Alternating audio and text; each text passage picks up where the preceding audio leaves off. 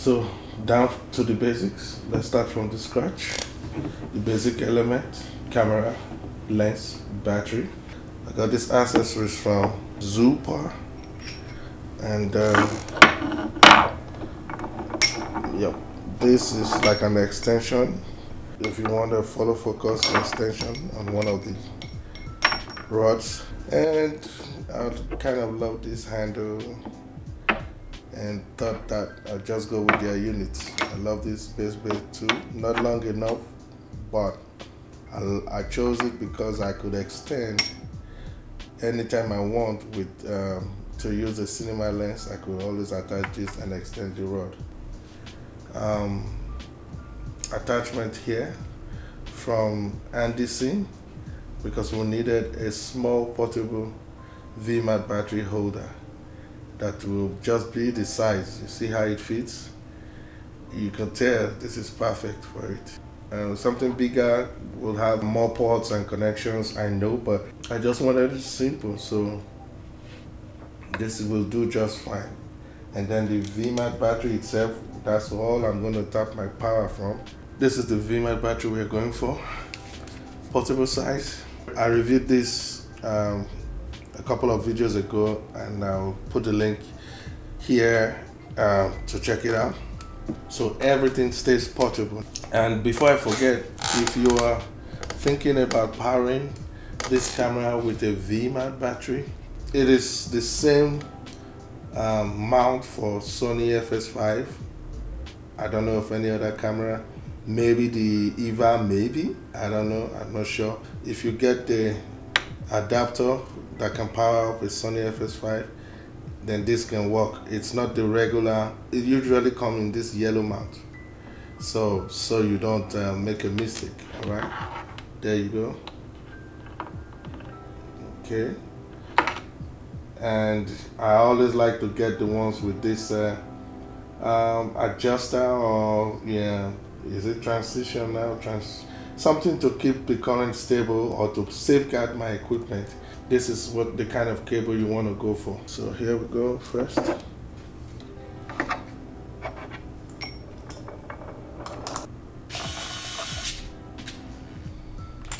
If you ask me, this is a little bit too large.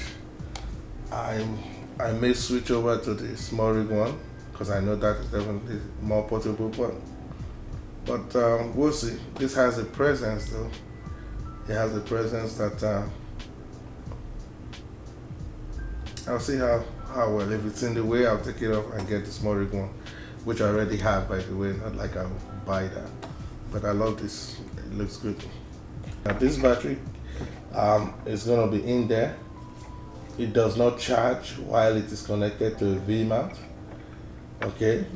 Um, but it's it has a lot of power. Uh, it probably can keep it running for about four hours uh, which means it is hot swappable without turning off the camera. So my plan is I won't need to depend on this 100%.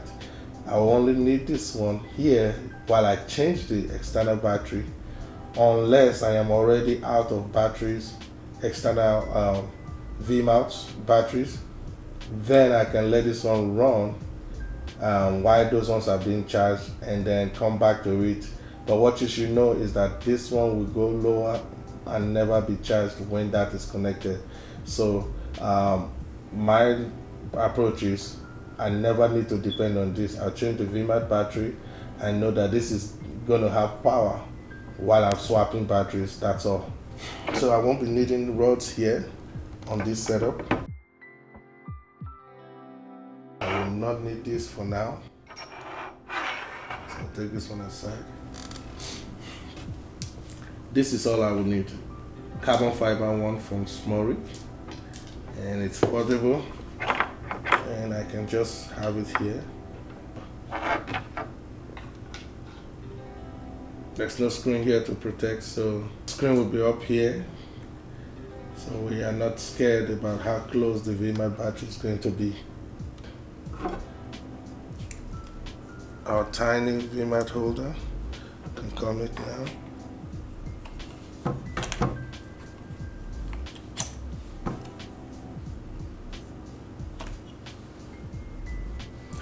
let's get this guy here. We'll need this for our monitor. And load it up get this in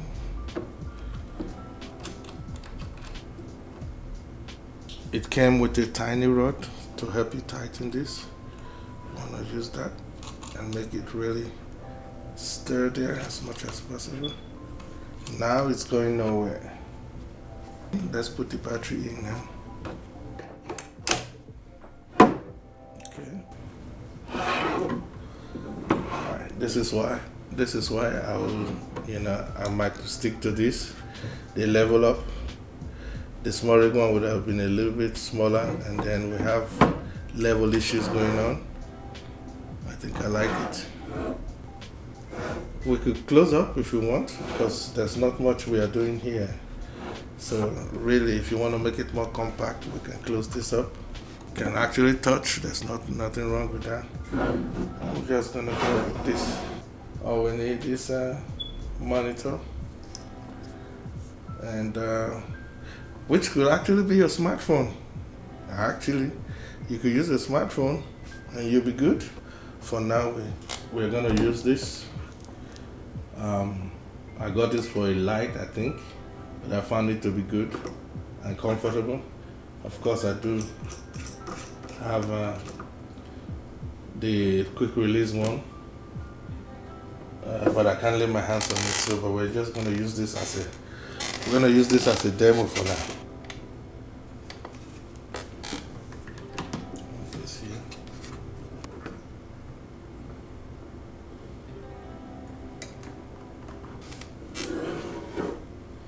Okay, our power now we have two power sources. One for the camera and one for the monitor on this V-mount battery. So if you're getting this we can work with that now I'm not uh, worried about the monitor going off because it will only be for a few seconds or a minute. Uh, and I'll probably replace the battery or replace this battery but what's recording is the most important. It's not uh, it should never shut down. So I'll have this as a backup. For the monitor I have the best solution. These dummy batteries are the, about the best I've seen. What's special about it is it's got this light it will tell you if it's green you're good. Your connection is right. There's nothing going on. There's no power breach or failure. But if it's red you know your connection is wrong. In other words take it off and check your connection again. You're gonna see that it will light up. If the connection is right that uh, and so we are good to go. We have no problemo. Perfect length I love it. I love it. I guess we should move the monitor over on the other side so the camera because the camera power unit is right here.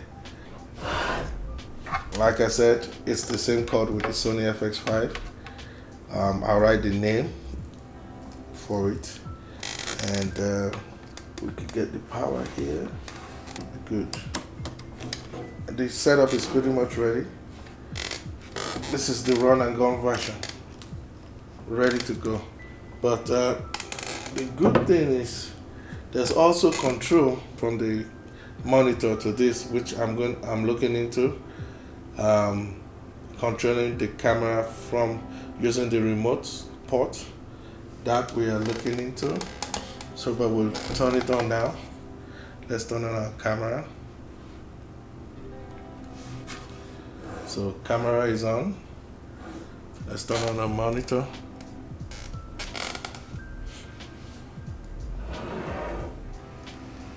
So monitor is on. I'm gonna borrow this cord from my Pocket 6K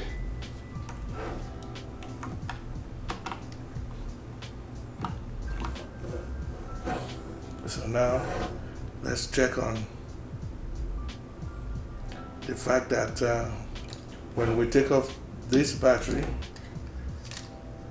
when we take off the um, the internal battery the power still continues and vice versa. So we're going to switch between both batteries and see how the process goes. And we can take this one off. I'm taking this battery off. And we still have power okay. I'm gonna put it back.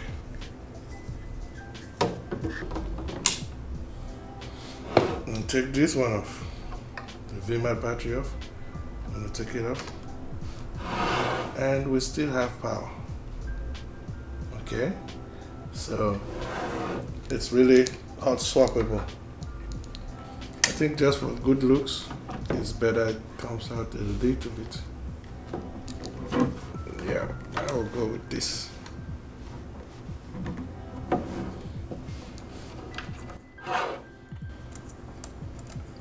ready to shoot so something like this with the right cord, we can actually get control over the camera, which will make it really seamless and you have to touch only this to control.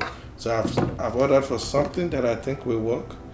Um, yeah, found something, they said it was for the BGH one, but of course it's a third party one. Until it gets here, I won't know.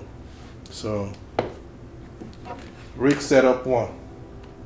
Thank you guys for watching. See you in the next week uh, where I'm doing actually the one with the small rig cage which is on the way here in the mail coming soon.